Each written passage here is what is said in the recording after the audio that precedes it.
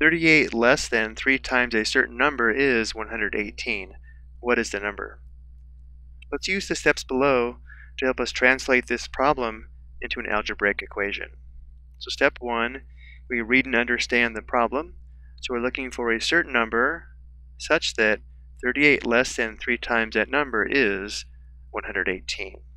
Step 2, determine the constants and variables in the problem. The variable represents the unknown, which is the number. Let's let x equal the number.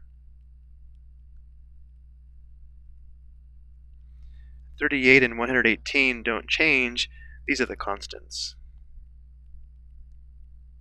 Next step, we translate the words into algebraic expressions and equations.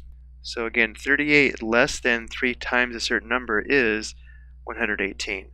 Well, 3 times a certain number would be 3 times x or 3x, and we want 38 less than 3x, and therefore we subtract 38 from 3x.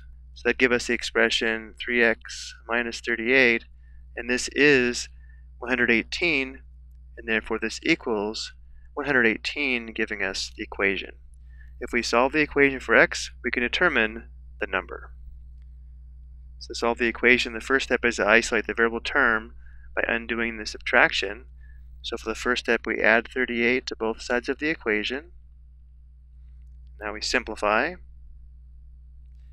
Minus 38 plus 38 is 0, so we have 3x on the left equals 118 plus 38 is equal to 156. And now to solve for x, because 3x means 3 times x, we undo this multiplication by dividing both sides by 3. Simplifying, 3 divided by 3 is equal to 1.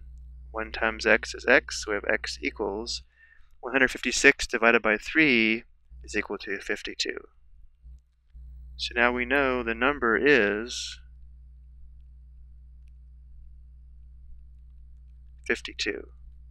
So this is our solution or our answer. Let's also verify that it does satisfy the equation 3x minus 38 equals 118. So we'll substitute 52 for x, which would give us 3 times 52 minus 38 equals 118. Again, 38 less than 3 times 52 must equal 118. 3 times 52 is equal to 156. 156 minus 38 is equal to 118. 118 equals 118 is true, verifying our solution is correct. I hope you found this helpful.